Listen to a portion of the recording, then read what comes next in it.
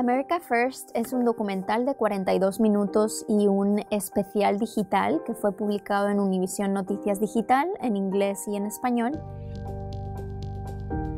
el objetivo del trabajo era investigar y visibilizar qué había pasado en Postville, Iowa, un pequeño pueblo del norte de Estados Unidos, 10 años después de una de las redadas migratorias más grandes en la historia de Estados Unidos. Y lo que encontramos nos pareció fascinante, tan fascinante que al final pasamos de la idea inicial de hacer un documental de 10 minutos a hacer uno de 42.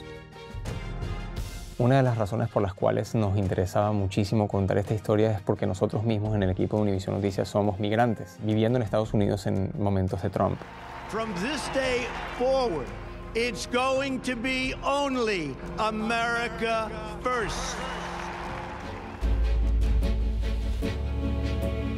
Lo que encontramos viajando a Postville y Guatemala fue realmente que esta redada no fue tan efectiva como los políticos nos hicieron creer. Después de la redada la fábrica cerró, abrió de nuevo bajo un dueño extranjero, canadiense, y tuvo muchas dificultades para encontrar trabajadores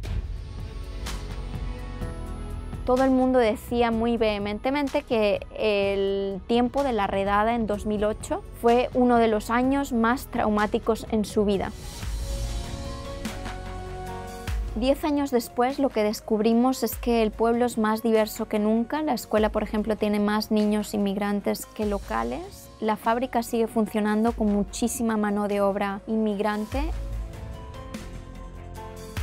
nuestra esperanza con este trabajo era poder cambiar la percepción pública y generar mejores conversaciones sobre para qué sirven estas redadas. Estas redadas realmente no sirven, según nuestra investigación, para muchos, solamente sirven para romper una sociedad, para romper muchas familias, para generar un trauma innecesario y para dañar las economías locales.